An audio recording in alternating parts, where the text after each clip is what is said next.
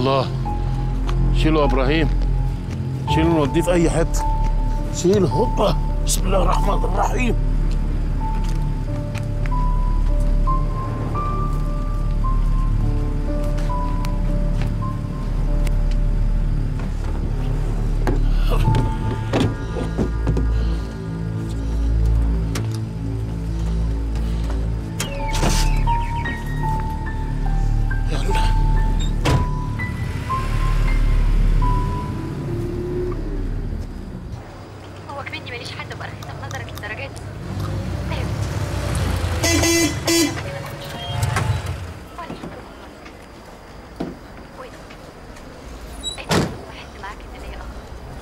عم خميس. أنا مفيش حاجة. هو انت نبطشية للادي ولا إيه؟ أيوه نبطشية الليل فيها قرشين زيادة يا عم خميس. أيوه يا بنت بس مش أمان. ما هم حاطين لي بوابة حديد أهي وأنا قافلة على نفسي ما بفتحش لأي حد. مالك يا عم خميس؟ لا مش أنا. ده واحد لقيته مرمي على السكة والعربيات رايحة جاية عليه ولا واخدة بالها منه. قلت أكسب فيه ثواب وأجيبه هنا. لا إله إلا الله. ده شكله ابن ناس. تلاقي ولاد الحرام اتلموا عليه وهبدوه علقة. هو مين الدكتور النبطش الليلة دي؟ دكتور أيمن صديق بس هو نايم جوه ومحرج عليا ما صحيهوش غير للشديد القوي هو في شديد قوي أكتر من كده؟ ده بني آدم وروحه هتطلع روحي صحيه بسرعة. حاضر ربنا يجعل كلامنا خفيف عليك يا دكتور. يلا يا إبراهيم. يلا تعالى ساعدني تدخله يلا يا اخويا بسم الله الرحمن الرحيم. ها يلا. استنى استنى استنى بس أنا معاك أهو. يلا. بسم الله الرحمن الرحيم. يلا يا ابني. وما طلعش ليه بيه على المستشفى الأميري ولا القصر العيني ليه؟ ما أنت عارف عم خميس راجل طيب وأكيد خاف من المشاكل. لا والنبي يخاف من المشاكل ويصحينا أنا عادي. لا إله إلا الله. ما هو عارف إن عندنا طوارئ وإننا بنفتح طول الليل. كنت اكرشه يعني؟ لا يا أختي ما تكرشيهوش. أنا اللي يطلع عين أمي عادي. عارفة. عارفة لو الحالة دي طلعت أي كلام أنا أعمل فيكي إيه؟ وأنا مالي أنا تعمل فيا أنا ليه؟ أهو عندك بره أعمل فيه هو. تعالي يا أختي حصليني على أوضة الكشف يلا. حاضر.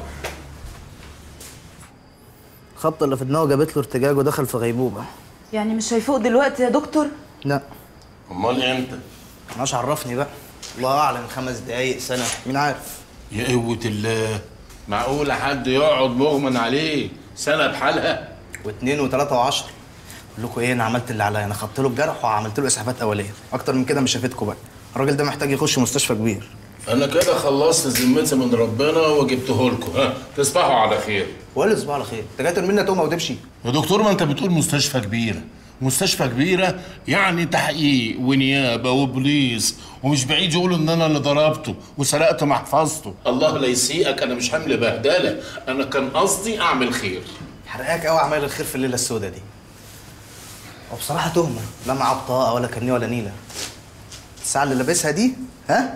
تساوي مرتبي خمس أشهر في المكان المهبب ده. لا إله إلا الله. ما إحنا عندنا سراير فاضية جوه كتير يا دكتور أيمن. ممكن أمدده على سرير فيهم لحد ما نشوف لنا فيه صرفة بكرة الصبح. ماشي يا أختي. بعلق له محلول بقى على حساب عم خميس. خميس مين يا دكتور؟ إيه في إيه؟ يا عم خميس بهزر معاك. قلت أنكد عليك شوية. تعالى. انت مش صحتني؟ معلش يا دكتور. الناس اللي بعضيها برضه. ماشي يا سيدي هنادي عملت بأصلها وجابته هنا؟ اهو يا ربنا يكرم بقى ويصحى بكرة ونطمن عليه ونقول هو مين. زمان أهله قلبين على الدنيا. يا عيني.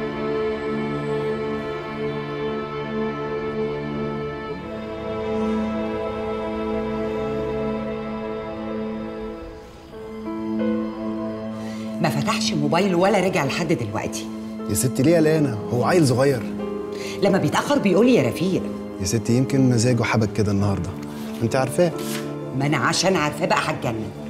بصي ما تقلقيش أنا وهو عندنا اجتماع مهم جدا بكرة فاستحالة ما يكونش موجود وأكيد هيظهر في أي وقت دلوقتي. أوكي؟ ما تخافيش. يلا.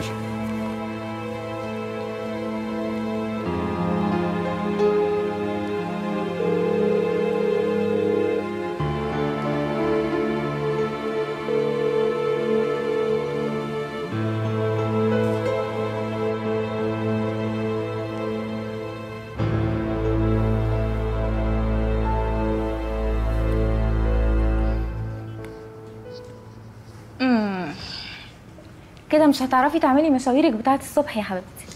وانتي مش كان عندك طيارة الصبح بدري؟ إيه اللي مصحيكي؟ أعمل إيه بقى؟ ما أنا ما بعرفش أنام غير ونفسك معايا في الأوضة يا لول سلام. قولي لي بقى قاعدة تفكري في مزد الجيل بتاعك ولا إيه؟ مش عارفة. مش فاهماه خالص. عادي. كل الناس في الأول بتبقى مش فاهمة بعض. بس بيتعرفوا على بعض واحدة واحدة وبيبقوا تمام. انت كل اللي انت محتاجاه شوية جرأة وشويه جنان كده. ليه مش فاهماه اولا ما أعرفش أي حاجة عنه وبعدين على فكرة ما يعرفش عني حاجة خالص. طب وإيه يعني؟ تجرأي انت بس. مش قادرة أفشل تاني. تقوليش كده. أنت قدها وقدود يا لول. ده أنا أقدر دلوقتي أدخل أنام وأحلم وأرتاح على الآخر. بس بقولك إيه؟ أوعي يتصل بيكي بكرة وما ترديش من عارفاكي نكديه وهتبوظي الليلة. مش هيتكلم. يا ديني هيتكلم. تراهنيني؟ اراهنك على اللي انت عايزاه. على اللي أنا عايزاه؟ امم أنا عيني هتطلع من زمان على الخاتم بتاعك ده. ماشي. بس أنا لو كسبت هتديني السلسلة اللي قلت لك زمان إن أنا عايزاها وانت ما رضيتيش. ماشي. وهيتكلم. مش هيتكلم. هتشوفي.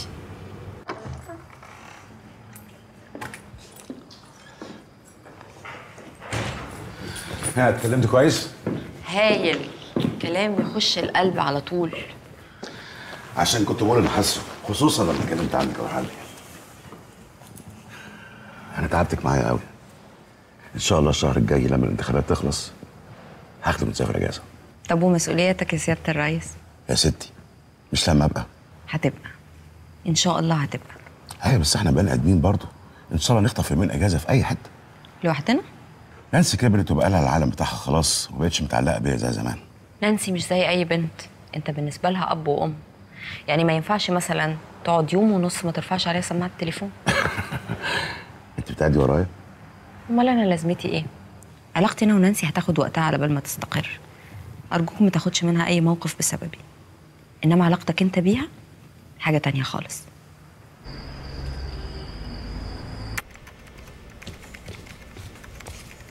يا سيدي ارحمني أنا اتأخرت.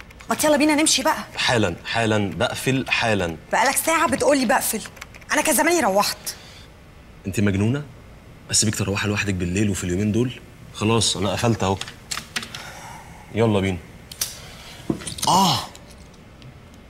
كنت هنسى. ثواني ثواني. بسام؟ بسام. يا بسام بسام. إيه يا ابني في إيه؟ أنا آسف قلقتك من نومك. التقرير اللي طلبه دكتور رأفت بتاع يوسف رمزي. يكون جاهز بكرة الظهر. أنت سامعني؟ يا بسام! سامعك يا عم بتزعق ليه؟ طب أنا قلت إيه؟ تقرير. حاضر. شكله هينسى وهيخلي شكلنا كلنا زبالة.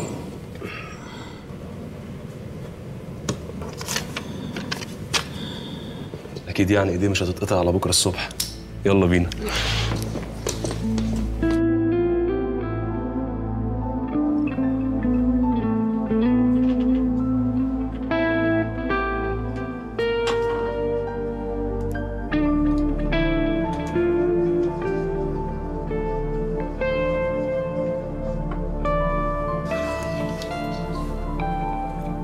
خبطت على الباب كذا مرة طبعا ما سمعتنيش كالعاده أنا مش مستنية إنك تخبط عليا أصلا. على فكرة أنا جاي أصالحك. هو إحنا متخانقين؟ ولا جاي بتصالحني بالنيابة عنها؟ هي بتحاول تقرب منك. وأنا مش عايزة أقرب من حد ولا حد يقرب. أنا محترمة رغبتك في الجواز منها لكن ماليش أي ذنب أتعامل معاها. نانسي بليز لو وجع دماغك بمشاكلي الصغيره ومعطلة الحملة بتاعتك قدامك حل. أنا أصلا عايز أسافر لماما بكرة الصبح. ما تستعجليش. كلها كام شهر وتتم ال 18 ويبقى من حقك تعملي اللي أنت عايزاه. تقعدي معايا تسافري لماما تشربي سجاير. انت حرة. بس قبل كده انت مسؤولة مني. okay؟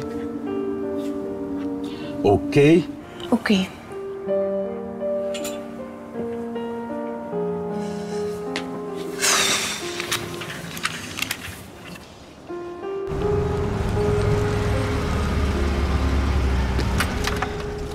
تصبح على خير. وانت من اهله سلمي بقى على بابا كتير لحد ما أشوفه ونتخانق على ميعاد الفرح كالعادة. السلام أمانة ها؟ فكك. خليكوا واخدين جنب من بعض كده اليومين دول لحد الانتخابات ما تخلص. بعد كده بقى بتخانقوا براحتكم. عارفة؟ صبرك عليا دي حاجة كبيرة قوي. أوعدك إن اعوضك أنا صابرة عليك بس عشان عارفة إن أنت في يوم من الأيام هتبقى حاجة كبيرة قوي. زي رأفت الراوي كده ويمكن أحسن كمان. آه بقى والنبي محتاج أنا جرعة الحماس دي قوي. يلا يا عم هيص نفسك.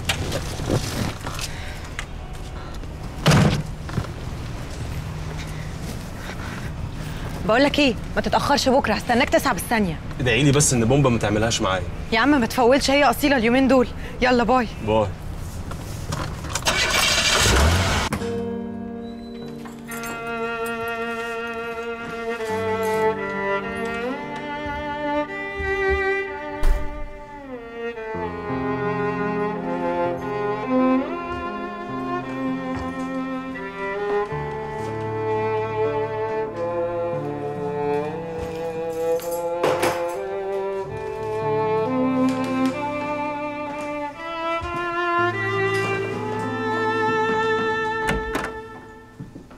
ما بدري يا نهى معلش يا ماما أصل العربية عطلت بينا نوال أنت عارفة إن باباكي لو عرف إن أنت كنت معاه لحد نص الليل هيعمل إيه؟ اولا يا ماما أنا ما كنتش خارجة معاه. إحنا كنا في شغل. ثانيا بقى يا ماما ده خطيبي مش صاحبي. وطي صوتك. أنت عارفة إنه ما بيقبلوش من قبل ما تتخطبوا. هو مش بابا نايم؟ أيوه. طب أنت عاملة المشكلة دي ليه دلوقتي؟ عشان لما هيصحى هيسألني ويقول لي أنت جيتي إمتى. قولي له رجعت بدري. يعني أكذب عليه. قولي له إن أنا كنت مع وائل والعربية اتعطلت بينا. ابوس إيدك يا ماما ورايا صحيان بدري. تاكلي لقمة؟ شكرا. أكلت. أمال وشك أصفر ليه؟ تصبحي على خير يا ماما. وانت من أهله؟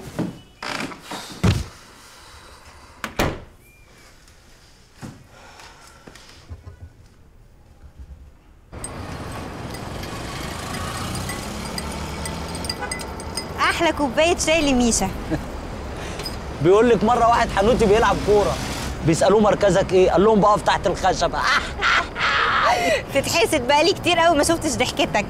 يا بنت البال ما كانش رايق. لكن النهارده الحمد لله ربنا فارجها. امم يعني الفلوس بتفرحك أكتر مني. يا بنت ما انت مسؤولية برضه في رقبتي.